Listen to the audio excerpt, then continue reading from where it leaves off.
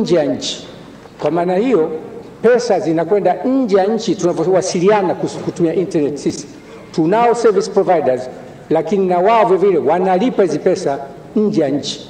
Sasa mimi nikuombe Mheshimiwa Nape, wewe ni mtaalamu na wewe ndio mwokozi wa nchi hii, tunakutegemea wewe ufanye hii haya mabadiliko nchini mwetu, tupate pesa nyingi kwenye internet. Sasa hivi mapato mengi ya simu sio kwenye voice call, ni kwenye data. That's where the money is. Kwa ni kuombe wewe na wizara yako mshirikiane na wizara ya fedha, mweke mkakati maalum wa kuhakikisha gateway ya internet ibaki nchini na mapato haya yabaki nchini, tusilipe nje ya nchi. Na internet inaweza ikawa dis, ikawa decentralized maeneo mengi nchini, hata vijana hawa wakawa service providers.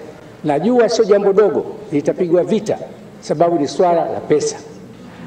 Hapa tunazungumzia national interest, kusaidia rais apate mapato, kusaidia vijana wapate ajira ya kwa service providers na wao kwenye, kwenye internet. Lingine, juzi serikali jana imetangaza kupunguza gharama hizi za miamala, lakini wananchi wengi wanalalamikia kodi ya serikali, hawatizami mapato yanayokatwa na mabenki, hawatizami mapato yanayokatwa na makampuni ya simu. Lazima iwe regulated.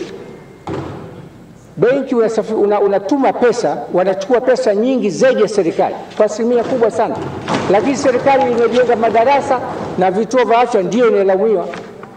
Kwa hiyo kuna kisindiketi ambacho kinatengenezwa kuipiga debe, kuipiga dongo serikali, wakati pesa wanachukua watu wengine.